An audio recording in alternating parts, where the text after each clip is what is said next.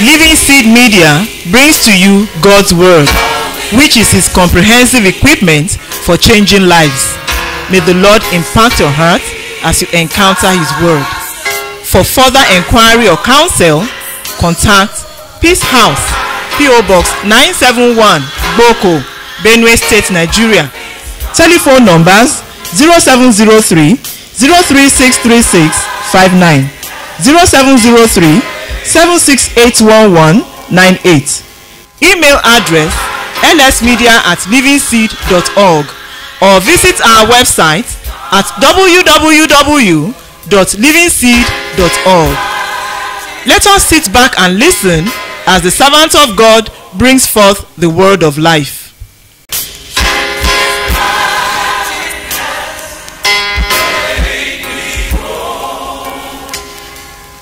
What a great love you have bestowed on us.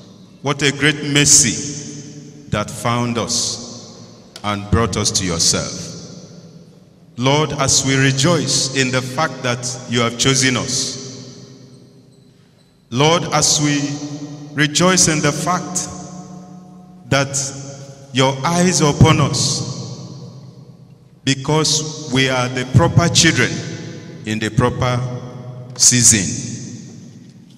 We are waiting on you again today that your grace will further draw our hearts to you in the name of Jesus Christ. We ask for revelation of your word unto our hearts. We ask that you draw us by your spirit. Everything else that is drawing our hearts, we are praying this morning that by the ministry of your word and by the power of your spirit, you will do a definite work, a definite work in each of our hearts in the name of Jesus Christ. Thank you for hearing us. Thank you for your presence already here with us. Be exalted forevermore. In Jesus Christ's name we have prayed. Amen. I'd like you to quickly turn your Bible to the book of Judges, chapter 8. I read verse 12, and then I switch to 20 to 21. And when Zebah and Zalmunna fled, he, Gideon, pursued after them and took the two kings of Midian, Zebah and Zalmunna, and discomfited all the hosts. 21 and his uh, 20 and he said unto Jether his firstborn up and slay them. But the youth drew not his sword for he feared because he was yet a youth. Then Zebah and Zalmunna said rise thou and fall upon us for as the man is so is his strength. And Gideon arose and slew Zebah and Zalmunna and took away the ornaments that were on their camels' necks. Amen. Now, as we begin our devotion this first day, we first of all recall what God began to say to us last night, the fact that His eyes are upon us, the fact that He has chosen each one of us specifically for what He wants to do. And here this morning, we are seeing a situation in which a father was expressing his heart's desire concerning his son. Gideon was announcing his agenda over Jether, his son. Here we are these two kings, Zebah and Zalmunna, that Gideon and his squad had captured They were already captives. They were already disarmed. They were harmless. And they were captives.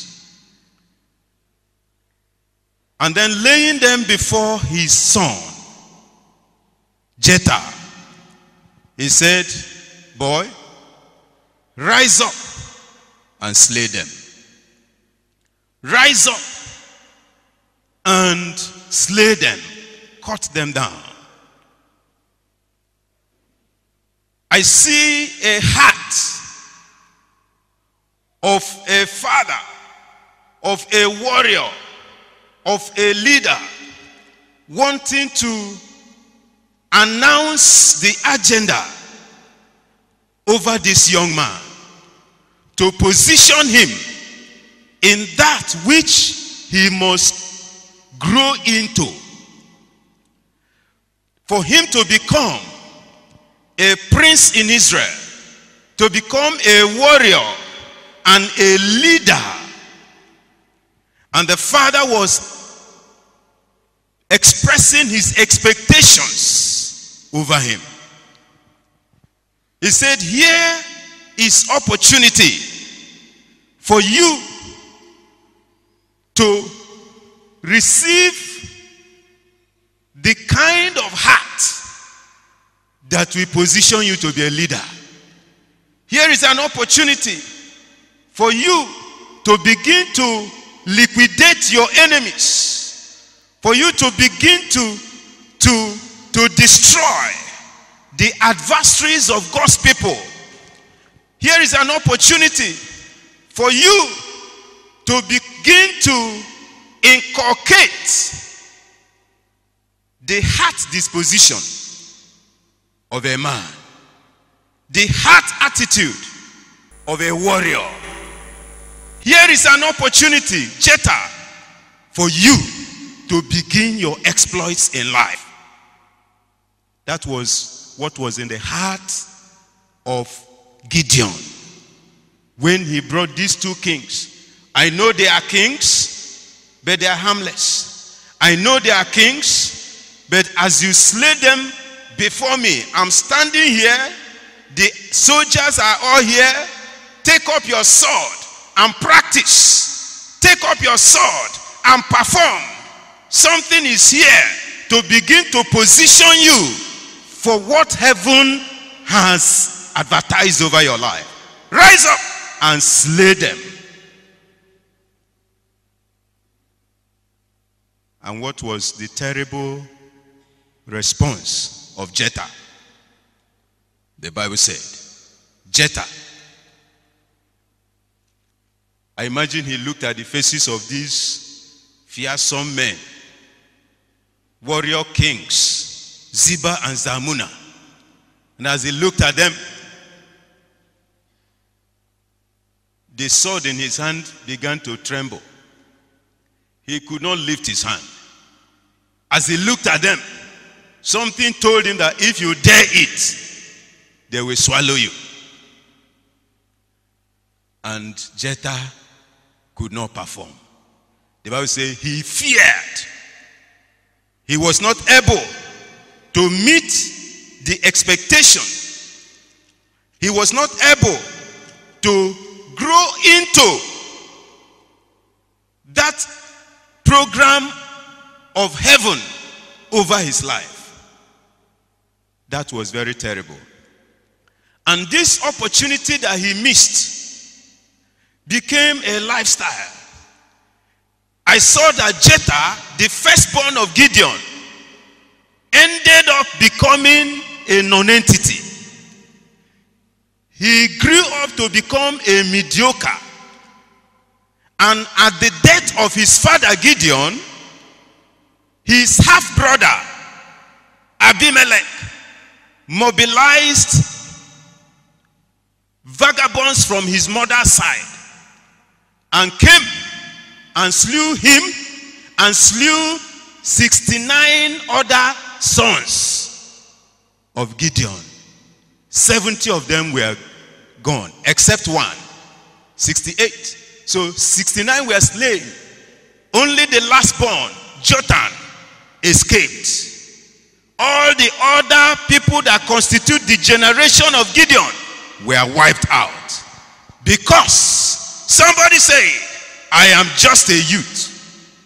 Somebody said, I cannot perform at the proper time that his father was positioning him for exploits at the point that heaven was beginning to train his hand for warfare. Gid, uh, could not respond to heaven's expectations. That was how the whole generation of Gideon were wiped out, except Jotham that escaped. Even Jotham never grew up to become a leader in Israel. Abimelech took over. Can we see first what God is announcing over you? That heaven is saying, Rise up. Even now, it is time for exploits. Rise up because the battles you win at this stage, they will give you the proper footing for what heaven is setting before you ahead. The battles you win for at this stage gives you the leverage to be able to remain a warrior in the years ahead. Your choices of the now, they brighten the positive choices of your life now, they brighten your chances for tomorrow. Jephthah lost out. Jephthah could not perform. Now, but there was something that the king said while they were responding to Gideon. When the boy could not perform, you know, the, the Bible said, Zebah and Zalmunna, they said to Gideon, Rise thou, you yourself, better stand up and fall on us and finish us. Forget about this boy. For as a man is, so is his strength. Now, that is where I'd like you to key your spirit for this morning's devotion as we'll be raising issues that you need to talk to God about. They said, Look, Gideon, why are you wasting your time with this boy who has an infantile mind, an infantile understanding, a childish disposition, an infantile heart? Why are you wasting your time? Why don't you rise up and do it yourself? So Gideon had to stand up and slay them. Then they said, What I don't want you to forget. He said, For as a man is, huh? Let me hear you. For as a man is, so is his strength. Help me tell your neighbor like that. Neighbor, as a man is, so is his strength. Now, we'll be tracing that in a moment. We'll be tracing what is it that forms the internal constituents of your life. For as a man is, there is something that is your makeup. There is something that is your internal makeup. And once there is weakness, once there is hollowness, once there are deficiencies inside you, you cannot be able to perform. So, as we see the desire of Gideon over Jephthah, placing before him the kings for him to slaughter, positioning him for victories ahead, and making him see the divine possibilities so that tomorrow he can become that great warrior and leader. That was the expectation in the heart of this man over Jephthah. but Jephthah could not perform. Now, there was a reason. They said because he feared. And because he was yet a youth. Now, I prefer to take the first reason because that's what is reasonable to me. There was something that constituted an eternal fear inside him. There's something that made him weak inside. We'll be tracing that shortly. What is it that weakens a youth and makes him unable to function, unable to do exploits at this stage of life? What is it that constitutes the fear of your heart? What is it that makes you unable to rise when God says, Rise up? The second matter does not mean much to me. He said, Because he was a youth. I like you to see the reason why I say that's not the matter. Because the father who began to say, speak to him to rise up and slay, he knew that his son was a youth. But he also knew these kings were harmless. These kings have been disarmed. And he himself is standing right beside him. The other soldiers are with him. He knew that this opportunity for this boy to grow the correct heart, for him to become what heaven is positioning him for. But Gideon will not perform. I'd like you to see another youth. And we're talking about David, the young man. Can you turn your Bible quickly? First Samuel chapter 17. I read from 32. First Samuel 17 from 32.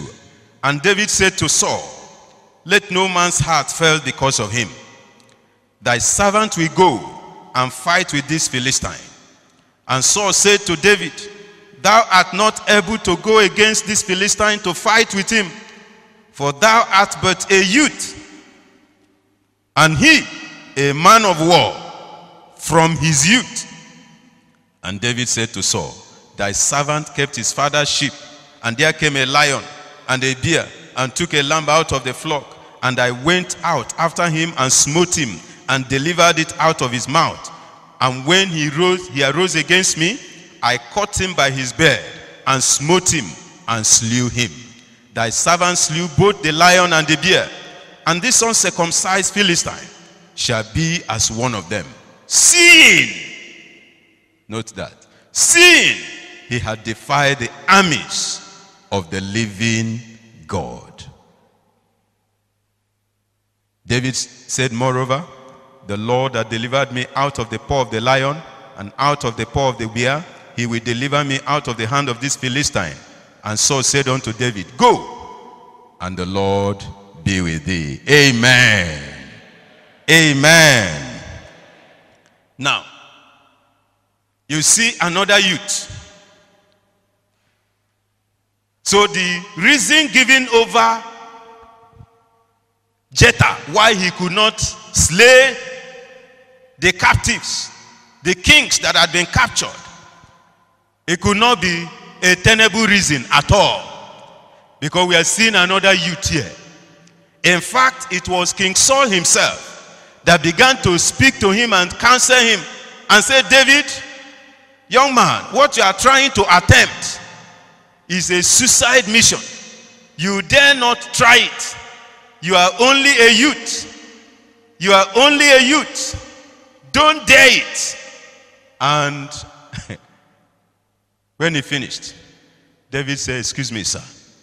With due respect, I'd like to inform you that this youth, something has happened to his heart. Hallelujah. This youth is a youth with a difference. And he began to roll out his testimonies of past victories, past exploits, past battles that he had fought as a youth. And then he gave me a clue. He said, Look, this young this man you are seeing, this giant, is uncircumcised one. He's not under any covenant, no cover. he is outside the covenant of God's people. This man you are seeing, he has defied the armies of the living God. I'm seeing a man whose strength is being revealed. I'm seeing a young man who has come to know God, who has come to grow in the knowledge of God to a point where he could stand on behalf of God and begin to do exploits. For as Daniel 11 32 says, he said, Those who know their God, what shall happen? They and only they shall be what? Strong. So the strength to do exploits that we are seeing in David, you can locate where it's flowing from. You can see that there are things that constituted the internal heart condition, the internal heart makeup of David that positioned him to be able to exercise strength for God. Now, this morning, I'd like you to be checking quickly before I read one or two other scriptures. To be checking what are the things that are causing internal weakness in me. For as a man is, so is his strength.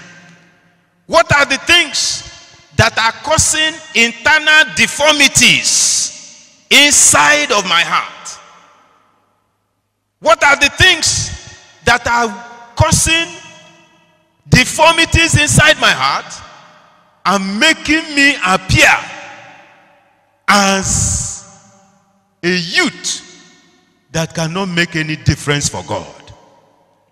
So it is not the matter of being young. Jephthah was young. David, we are seeing here, is also young. But something is different.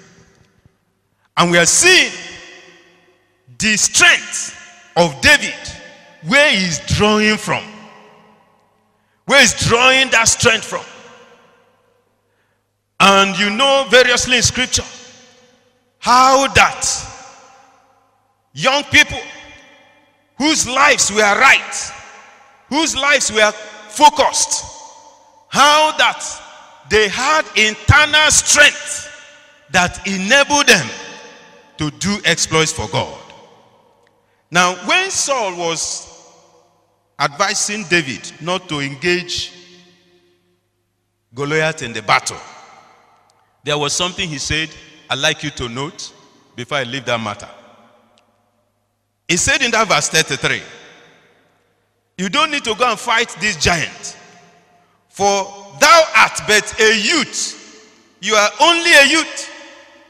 And he, a man of war. From when? I didn't hear you. From when? Aha. There's a problem here. Here was the man that wants to begin to perform for God from youth. And King Saul said, Don't try it. You're only a youth. Then he is announcing to David at the same time that this Goliath that has become mighty and terrible, when did he begin to perform? Huh? Aha, from his youth. So, can you see the devil? The devil is busy harnessing the strength of young people, doing exploits for him. Only for you to want to stand up for God. He said, No, no, no, no. Postpone, postpone, postpone whatever you were supposing to do for God. You are only a youth. There's a deception there. He says, Look, as for Goliath, right from his youth, he has been performing. And can you look around you, whether on the campuses, whether on the cable network, you are seeing young people anointed by the devil taking positions for the devil. Even you, like this, before Jesus grabbed you, there were some outstanding things you were already trying to do for the devil. And the devil doesn't mind that. The devil doesn't mind to begin from the youth, to push you, to move you, in order to make mark for him. Because whoever catches the youth, whoever has his quiver full of them, that's the one that will take over. So he said, Don't worry, don't worry, just postpone your own this morning. Every postponement to engage in the battles of the kingdom, every postponement to become a youth of impact for God, it will be nullified. So we hear David saying, No, I will not. I will not stand aside. I'm going to engage him. But that's not where we push further this morning because we need to raise matters of prayer as we are going on quickly. I want you to note that Jephthah had opportunity to make a difference. He had a space to be able to live up to the expectations of his father. And that there are expectations of heaven over your life. And God himself is standing behind you. David realized the presence of God. David realized that, look, with God by my side, as long as he's with me, I can do all things through Christ that strengthens me. Amen. What constitutes the weakness in the life of Jephthah? What is it that brought fear to his heart? Certainly, it's not about being young. What was it that made David to rise up to achieve that great feat that he achieved that day and brought deliverance to the whole nation, it has to do with his internal makeup.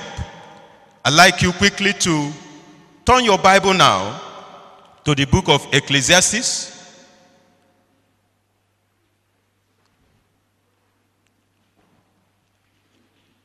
Ecclesiastes chapter 10.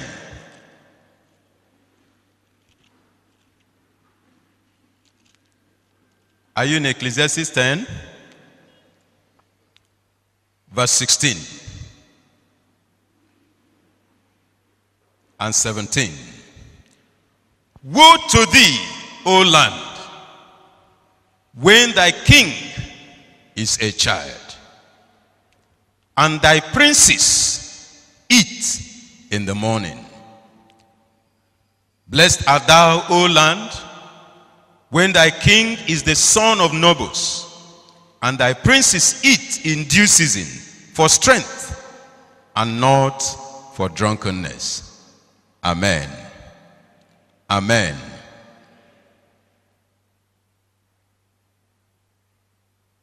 Now, I'd like you to note what is it that makes it easy for a youth to be despised? What is it that makes even the word of God compare a, a leadership that is defective to that of the leadership of a child? What is this negative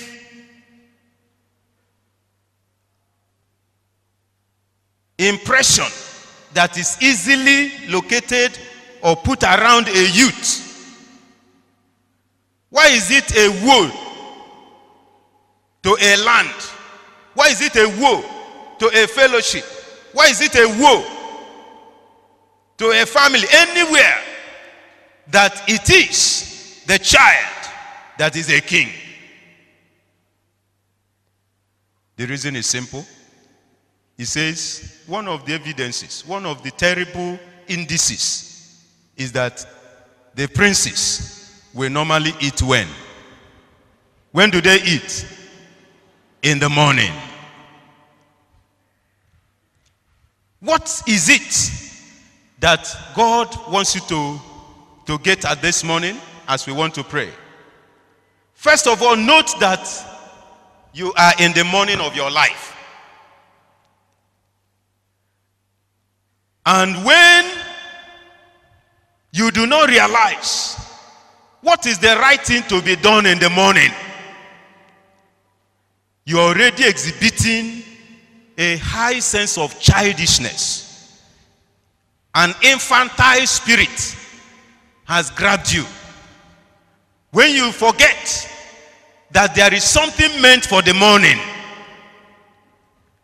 the morning is that time of freshness, that time in which certain crucial decisions are being made. It is the time of labor, it's the time of gathering, it's the time of building. That's the morning. But we're seeing a morning here that is being wasted. What is bringing the waste? They eat in the morning. People that are ruled by appetites in their morning. What will make you, even if God is positioning you for kingship,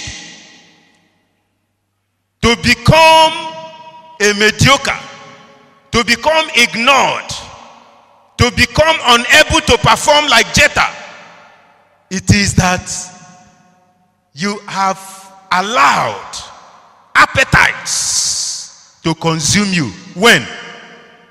In your morning. You have allowed appetites. Different kinds of appetites. Wrong appetites. Appetites for food. Appetites for, for immorality. Appetite for sinful entertainment. Appetite for sinful pleasure. Appetites for laziness. Appetites for slothfulness appetites just for feasting, merrymaking in the morning of your life. He said, Look, these princes that are supposed to bring direction for the people, these princes that are supposed to be able to give leadership something has happened to them. They have been consumed by appetites in the morning. It's not as if there's any time that unbridled appetite will ever be useful for any man. But there is a moment, there is a season of life in which appetites, unbridled, uncontrolled, they become the waster of destiny. Whatever kinship that God was planning for you, whatever leadership that God was, was advertising over your life, whatever God is announcing, there is something that will cut you short on your feet and make you unable there's something that will weaken you inside, like Jether. Even with his father standing by, a sword in his hand, the enemy is helpless. But this man, there's a, there are internal weaknesses, internal deformities that will not allow him to raise up his hand to strike at the enemy. The key matter is feasting in the morning. When your king is a child, there are many, many, many things that go wrong in a land. When I was in secondary school, I read the story of the, the, the, Obi of Abo, the king the father died and he was the only one to be crowned. And he was crowned at six years old. They put his picture in the magazine, and the, the, the crown was almost covering his face as he was carrying the big crown. Then the kingmakers, they didn't know what they were doing because very soon their king started to perform. In the compound, he will join other children to be packing sand. They will pursue him, or pursue him, or pursue him, or, and grab him. Say, don't you know the audio, the You know, I was, I was following the story in the magazine, you know, on and on. Another time, he will be in school. Because six-year-old child has to go to school, king or no king. So he went to school, and um, they, they are in class. During break, that's how we run after somebody and be pushing to beg for buff, buff, buff from him. And the kingmakers will run after him and grab him and say, What are you doing? Respect yourself. The boy doesn't know why they were disturbing his life. On and on, he troubled them and they troubled him until they got tired. And then they bundled him and sent him abroad.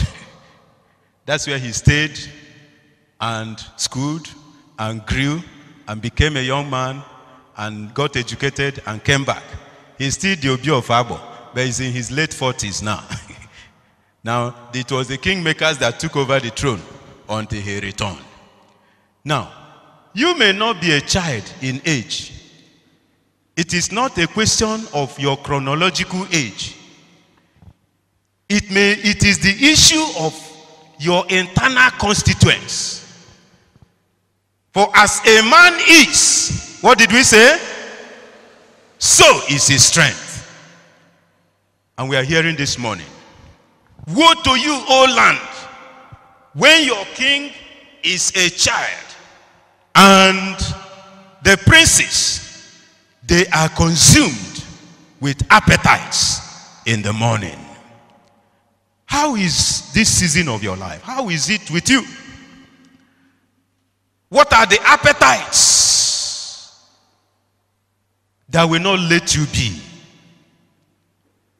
The reason you need to sort them out again this morning is that those are the things that constitute your internal weakness. And your strength can never be higher. No matter how you want to posture, no matter how you want to do, you know, bold face, there is something that keeps driving fear inside of your heart and saying, Ah, are you sure? How can you? You dare not. And Jether was trembling with the sword in his hand. He could not perform, but not a David. Appetites. I say appetites for evil entertainment. How has it consumed you? Unholy pleasure. Eagerness for lustful pleasure. That's what the Bible calls it. Appetites for all manner of slothfulness. You are just you are just slothful. You just love ease. You don't like anything that ruffles you. You are, you are growing yourself up delicately. Appetite for ease. Appetite for sexual immorality. Appetite. Even for something as simple as food. What to eat just gets you trembling once you see it. Appetite for empty show. You just love to, to keep buying and buying empty things just to just to impress people. There's a, there are these appetites that are holding you. And honestly, if it were later on in life, is a later is a lesser problem. But the problem is that it is in your morning. Say, Woe to you, O land, when your princes are feasting, they are giving to appetites in the morning.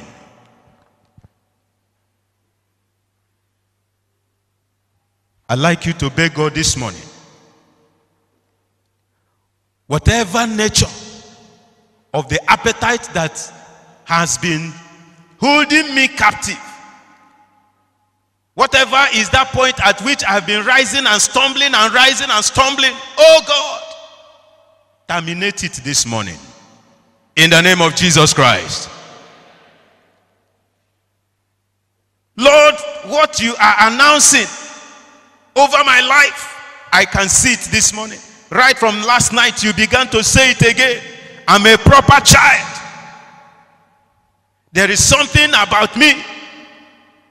But no matter how Gideon was announcing the great possibilities to Jether, no matter how he wanted to train him and inculcate in him the skill and the heart position, disposition of a warrior and a leader, Jether could not move. Something must move in your life this morning so that you can move. Are you hearing me? Something must do what? Move in your life so that you can move for God. I like you finally. Look at another youth. What makes it easy for people to despise the youth? Look at 1 Timothy chapter 4. Finally, 1 Timothy chapter 4.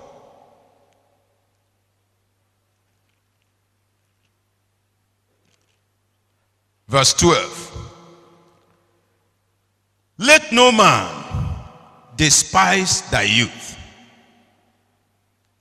but be thou an example of the believers in word, in conduct or conversation, in charity, in spirit, in faith, in purity. Amen.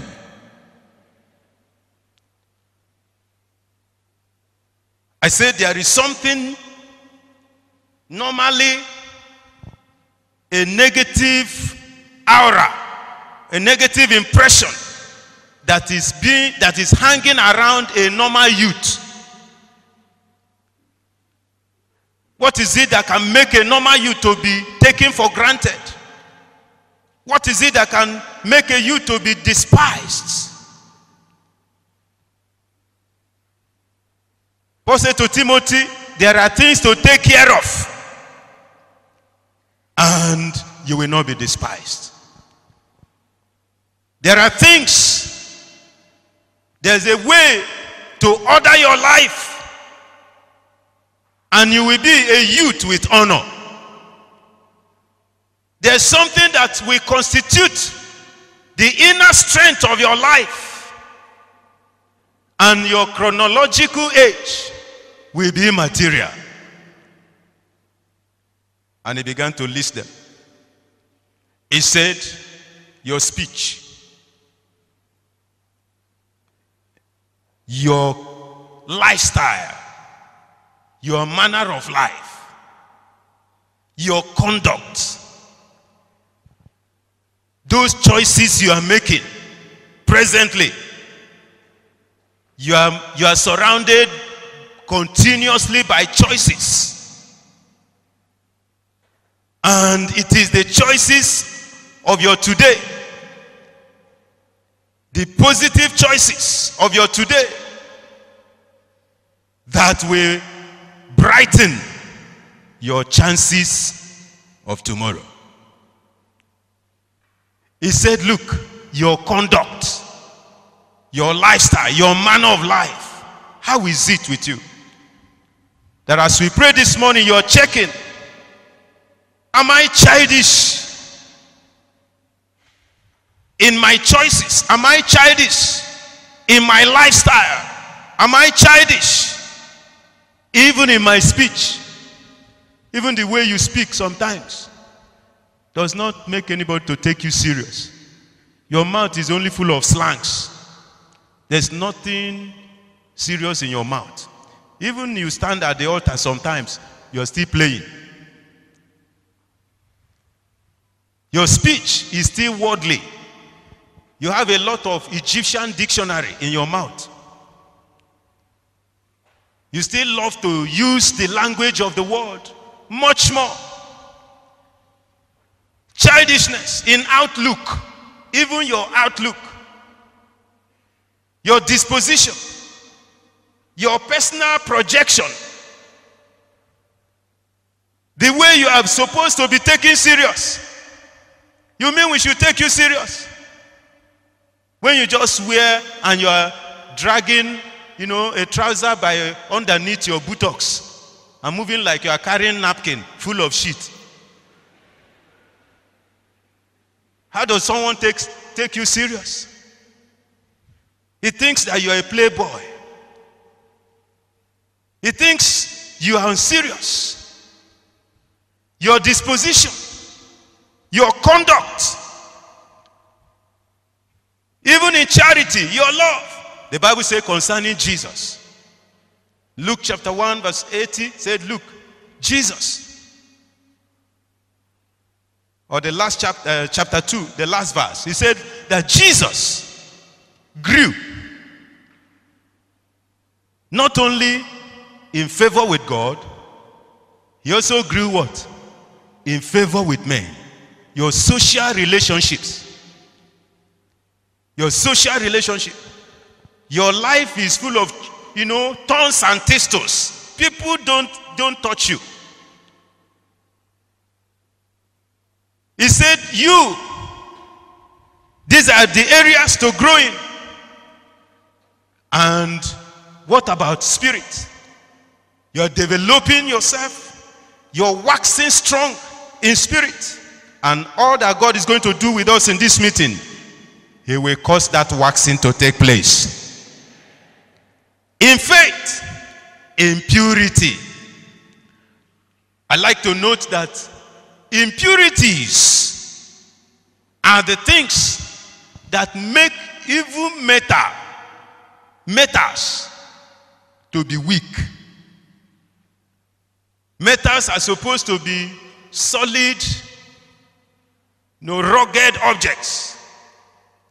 But impurities weaken them. If you are going to use any metal in any good way, there's going to be a refining process. A refining. Two things must happen to get steel, which is even stronger than iron. There must be the removal of impurities. First, from that iron, to have a fine, a fine state of the iron, free from any other element or compounds. But beside, apart from the refining, there is the additives. There's some particular rare earth metals like nickel that you must add to the pure iron and others to be able to reinforce the strength further so, the strength we are talking about this morning, two things you'll be trusting God for in this meeting to deal with every form of impurity, anything that causes internal weakness. And secondly, Lord, bring all the additives, all the necessary life virtues, all that is needed to reinforce my inner man so that I can work strong in spirit for what you are announcing over my life. That will be two key anchors of your prayers and expectation as we wait before the Lord right from this moment. In the name of Jesus Christ. I'd like you to rise on your feet as we raise a prayer to the Lord shortly this morning. Come and take your throne, O Lord, come and take your place. Come and take your place. O Lord, in my life, in my life. Come and take Come and take your place, your rightful place oh. in my life. Come and take your place. Come and take your place. Come and take your place. Oh Lord, oh Lord, come and take your place. Oh Lord, in my life. In Come and take your place. Paya katala boriba shendele boria. In my life. Father, come and take your place. Come and take your place. Come and take your place, oh Lord. Lord, come and shake me. Come and shake me out. Shake me inside out. Your place, Deal. oh Deal with impurities. Oh, The things that affect my inner strength. Come and take Your place, Father, in my life. Come Marabaya bashendele borobo sandala baria bashendala bori basaika bashiri basaika ba. It's time to respond to the Lord.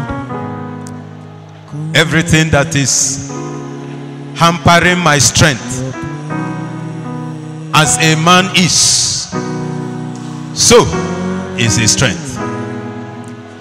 All the impurities. Lord, here I am this morning. You must first deal with impurities before you begin to bring the additives, the things that will reinforce my spirit and make me to wax strong for exploits. Lord, come this morning. Is somebody crying out to God this morning? Father, I am identifying the impurities. Lord, I am seeing, oh God, something is happening to me, causing internal def- deficiency. There are deformities because of these impurities, oh God. My strength is so small. My weakness is not the weakness of my age. It's not the weakness of my years. It is the weakness of my inner man. It is the weakness of my standing with God. Rakataya baya baya.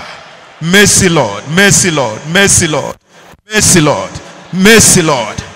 Rakataya baya baya ba. Sarabaya badushia. Oh God, mercy. Makataya baraba shiribasai. Jether could not perform. He said, Stand up and slay. He could not. Many times God has given you opportunities to make a mark. Something cut you short. You are first struggling. You are first struggling with your own inner weakness. Oh Lord, don't let this condition continue with me. Don't let me waste moments of your training. Don't let me waste moments of what you want to do with my life in this season of life. Barabaya Basuria. Somebody's crying out this morning all the appetites that are weighing on me in the morning of my life. I said no to you. This morning, oh God, show me mercy.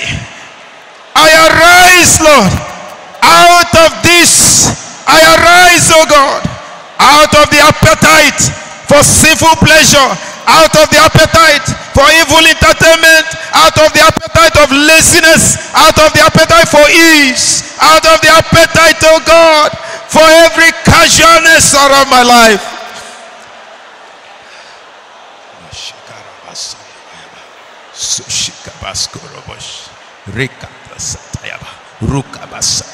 Rukabashikalia, Busakatayabakas, Bukasekatatai, Makusakatai, Malakasikaya, Moshikatayaka, Mosatiakapaya, Makatukusakai, Makatusakapa, Lekatakapashi, Makatakapusia. Why do you waste, want to waste God's program for your life? Look at the expectation of God concerning you, brother. For how long will you keep God waiting? For how long will you waste divine opportunities? Let heaven arise for you this morning. Call upon the name of the Lord.